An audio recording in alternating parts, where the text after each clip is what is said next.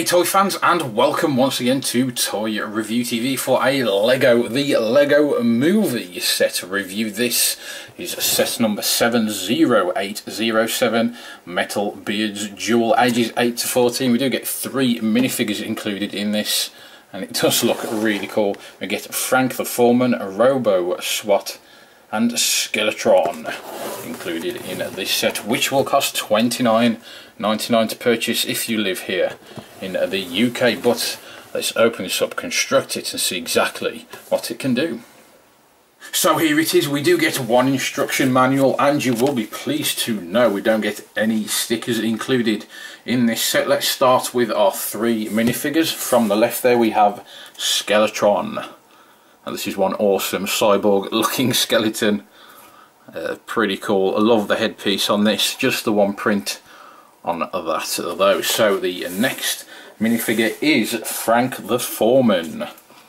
And here is Frank the Foreman with his work uniform on with the crash helmet as well or the bumper cap with the one face print and we have front and rear torso detailing there and the last figure is the Robo SWAT figure these Robo SWAT figures are pretty cool. They do show up quite often in these sets. We do get the one gun weapon there with some rear torso detail. We also get some detail to the front and the legs with the visored helmet there as well with a little bit of print on the helmet and we do get that one face print which is very metallic very silver metallic as are a lot of pieces on these minifigures as they are robot characters. Now onto the main set itself. Let's start with the giant micro manager. This does come with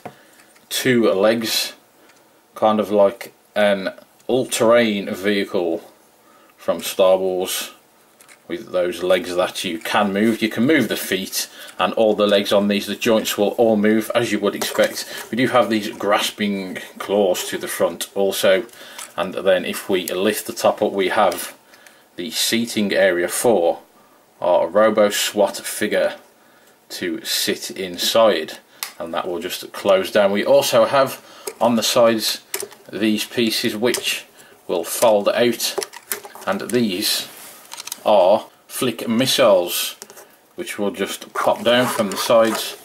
Maybe easier just to push them from the side there first and then flip them down. But there you go.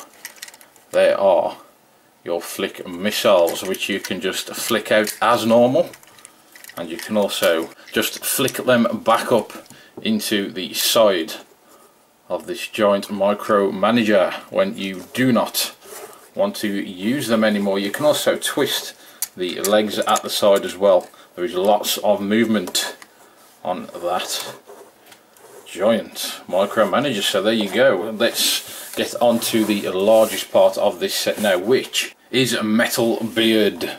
Metal Beard with his suit that he has made up from junk pieces because he doesn't have his body anymore but he does have the bones from his body because we have this chest in the center there and in there you can see the bones of Metalbeard's body they're contained in that chest. We do have the shark as well on one of the hands which I think is great. Love that. And then we have these fingers which you can move or will move independently. We do have ball joints all around this so we have one there when we have uh, a ball joint at the top so there's lots of movement in these arms. We have which is really cool these cannons as well. Now these are your flick cannons. You pull the rear out and they will flick your projectile. Now your projectile is on this ship's steering wheel. At the back we have four of these grey blocks and all you have to do is pop these inside the cannon and when they are in,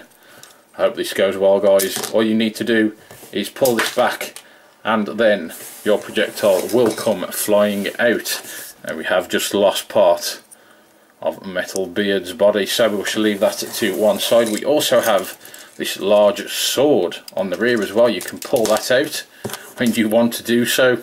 Metal Beard is falling to pieces here but he is just quickly put together with scrap pieces so we can excuse him For that we have this large sword which you can put in his hand and he will grasp that.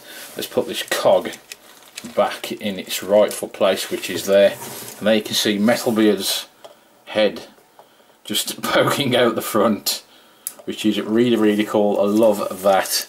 And he does have a peg leg and one working leg with a foot there. But you can move both of these legs. We have joints on both of them so you can move all of those. Let's take a look at the rear where you can see this flag piece which is sticking up with a parrot. We have a parrot perched on the top of that flag. But apart from all that guys.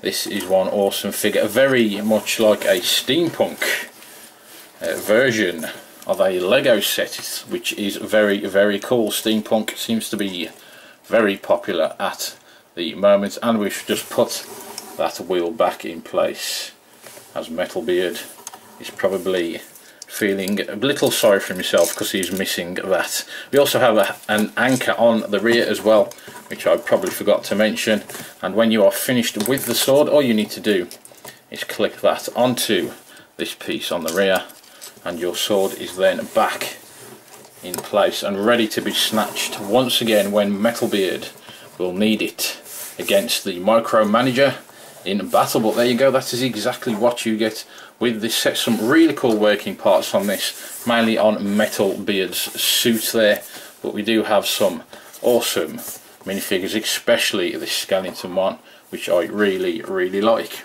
well guys, as always, thank you very much for joining me for this LEGO review. Please do feel free to rate, comment and subscribe and I hope to see you all next time here on Toy Review TV.